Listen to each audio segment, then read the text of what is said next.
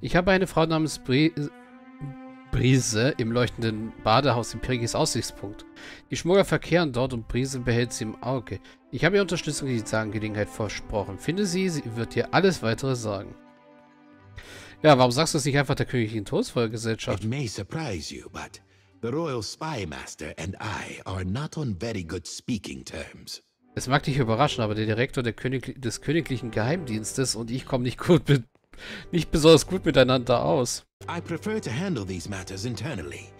You provide a good opportunity. Ich kläre solche Dinge lieber intern. Du bietest mir eine gute Möglichkeit dazu. Ich mache es. Excellent. Meeting you has been a stroke of luck, Watcher. I'll await your report. Hervorragend, dich zu treffen, Wächter war ein Glückstreffer. Ich erwarte deinen Bericht. Gucken wir mal, wie meine Reputation so steht. Oh, sie wird besser. Das, obwohl wir nicht so gut waren. Äh, wird die mit Nekataka schlechter oder bilde ich mir das nur rein? Tekavaradorf, der Schlund, Kriminelle der Graberstraße. Nee, halt, das waren die Huana. Die drei hatten. Nekataka ist immer noch nur zwei. Was ist eigentlich mit der Todesfeuergesellschaft? Die sehe ich hier noch gar nicht, fällt mir gerade so auf.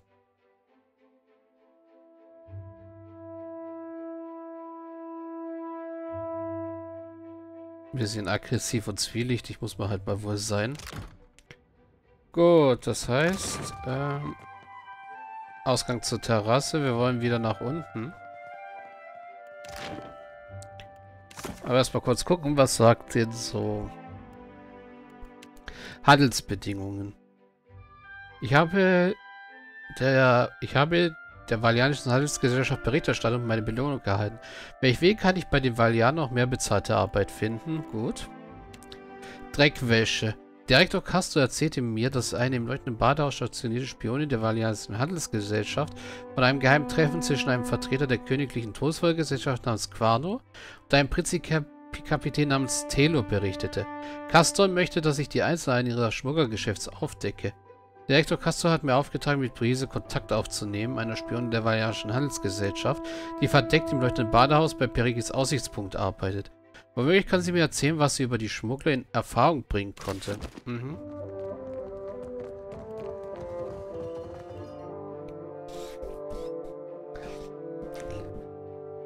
Gut.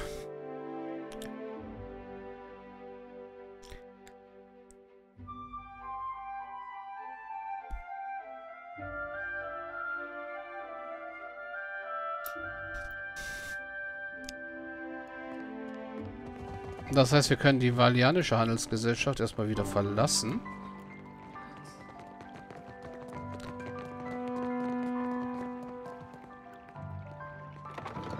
Können erstmal zum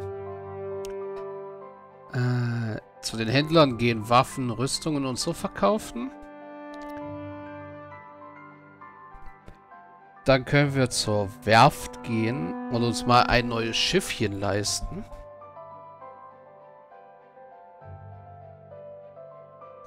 Ich werde wirklich mit dem kleinsten Schiff mal anfangen.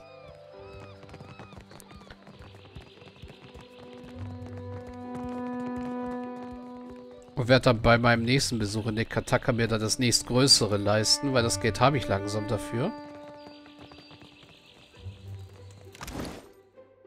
Werde ich sowieso wahrscheinlich haben, wenn ich hier Zeug verkaufe.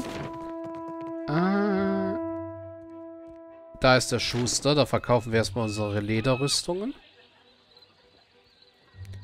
Achso, der ist da hinten. Ja, stimmt. Das heißt, dann gehen wir mal Vollspeed, wenn wir schon hier sind.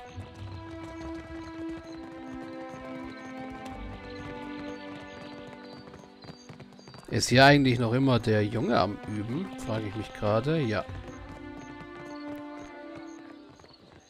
Leave me alone, will you? Lass mich gefälligst in Ruhe. Ja gut, Schuster. Tag.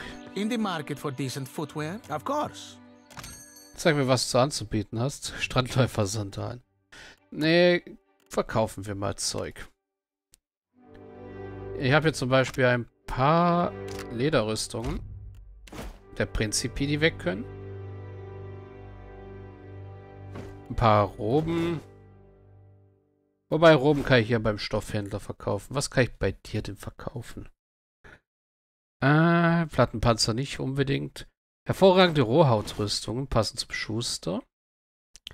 Kleider des Boten nicht. Valianische Kleidung auch nicht.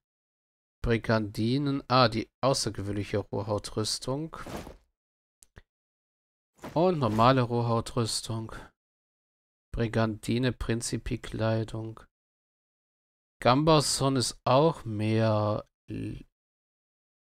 Lederrüstung können wir auf jeden Fall verkaufen. Valianischer Mantelrock auch. Kettenrüstung. Wächterlederrüstung kann weg. Prinzipi-Kleidung, Schuppenpanzer. Was haben wir hier so? Außergewöhnliche Lederrüstung können alle weg. Wow, das gibt Geld. Hier haben wir noch gute Lederrüstungen. Zwei gute Rohhautrüstungen. Guter Brustharnisch, außergewöhnliche Robe.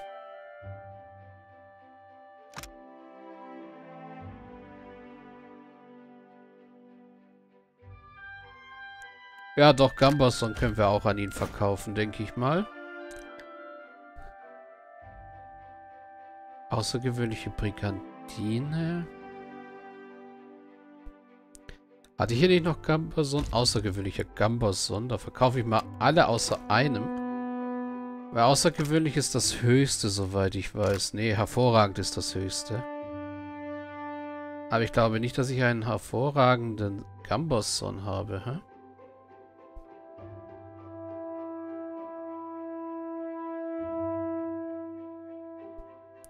Nee, nicht wirklich.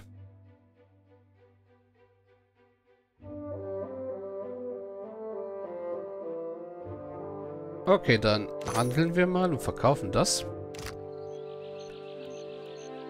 Und dann geht es als nächstes zu den edlen Moden, Roben und Kleidung verkaufen. So, dann laufen wir.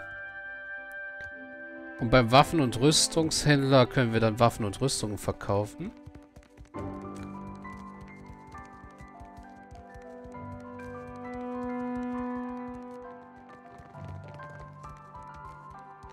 Fisch, Jagdgut und allerlei. Hm. Island folk tend to prefer take your time. Ja. Also erst einmal hier. Habe ich einen Umhang. Habe ich ein paar Prinzipi-Hüte, ein paar Rautai-Hüte, gefütterte Hauben. Kutten. Abgenutzte Kutten. Prinzipi-Hüte. Hier jede Menge valianische Hüte. So, hier habe ich sehr viele außergewöhnliche Roben. Sehr viele gute Roben. Eine hervorragende Robe kann auch mal weg. Die können alle weg und das Ding kann weg. So wie die Prinzipi-Kleidung. Die Kleider des Boten heben wir mal auf. Genauso wie Akemirs Robe, auch wenn die nichts bringt.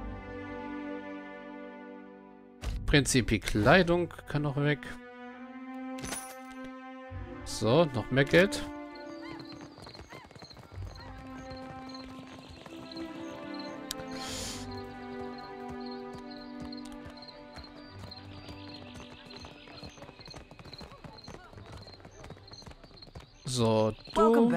Bist unsere Schmiedin.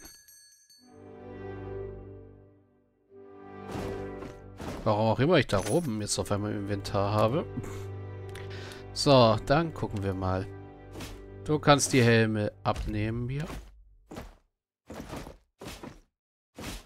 Die brauchen wir nämlich alle nicht. So, rüstungsmäßig. Valianischer Plattenpanzer kann weg.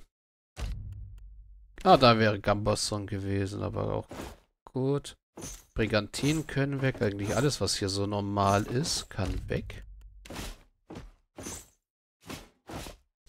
So, dann gucken wir mal. Außergewöhnliche, gute Brigandine kann weg. Guter Schuppenkanzler kann weg. Weil wir haben, glaube ich, auch noch... Ja, genau, außergewöhnliche Schuppenpanzer. Guter Brustharnisch, da hätten wir außergewöhnliche, also können die guten weg, bis auf einen können die außergewöhnlichen weg. Valianischer Brustharnisch. Ein außergewöhnlicher Schuppenpanzer, die können weg. Guter Plattenpanzer können auch beide mal weg. Gute Kettenrüstung kann weg. Haben wir sonst noch was, was nur gut ist? Nö. Das ist außergewöhnlicher Gambosson, also brauchen wir keinen. Ja. Hervorragend ist das höchste, so wie ich das sehe. Verkaufen wir erstmal das hier.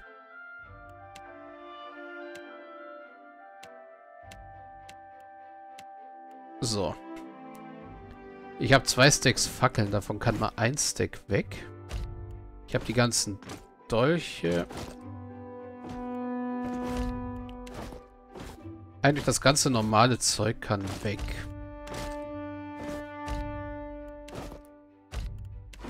Haufen Schwerter, Speere, Stilets, Äxte.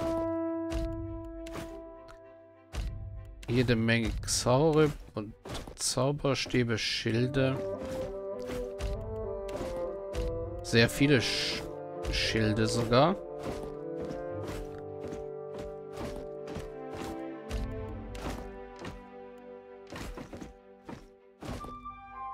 So. Erstmal das verkaufen.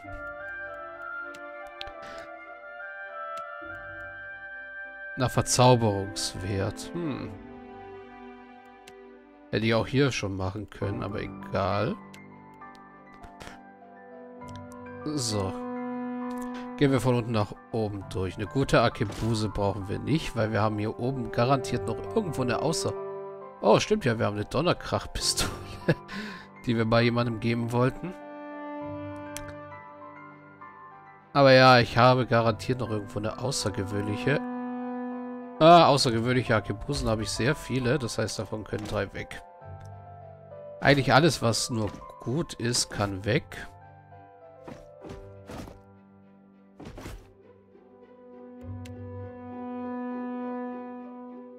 Ach, da habe ich Akebusen übersehen.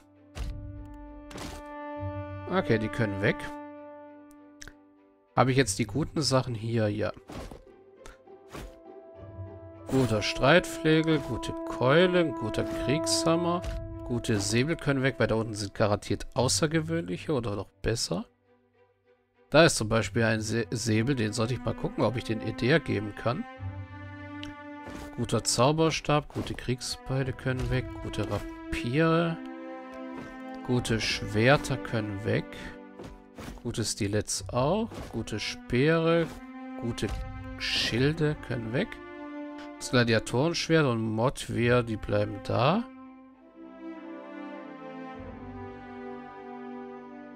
Außergewöhnliche Sachen verkaufen wir mal alles bis auf eins jeweils. Außergewöhnlicher Morgenstern. Außergewöhnliche Zweihänder. Ah, das Feuernagerschwert kann weg. Außergewöhnliche Stäbe.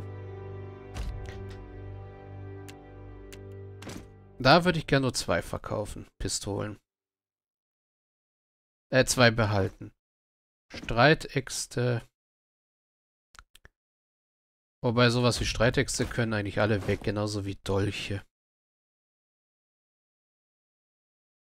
Äh, Xaurim-Speere, die können auch weg. Guckt euch mal an, was wir da schon an Geld zusammenkriegen. Zauberstäbe, ich glaube, das Kriegsbeil kann auch weg. Schwerter können bis auf eins weg. Zepter behalte ich mal beide. Die können alle weg. Hier behalte ich eins von. Das kann weg. Ein hervorragender Säbel kann weg. Die Vampirkampfstäbe können beide weg. Das Stilett kann weg. Das kann weg. Das kann weg. Ja. Ich würde sagen, das sieht okay so aus. Und das ist ordentlich Geld.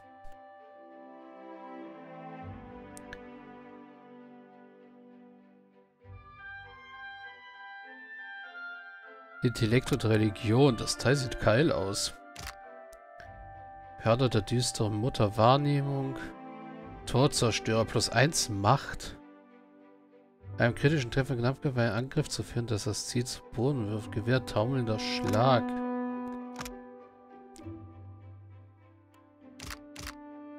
Also was? Die beiden sind mal gekauft.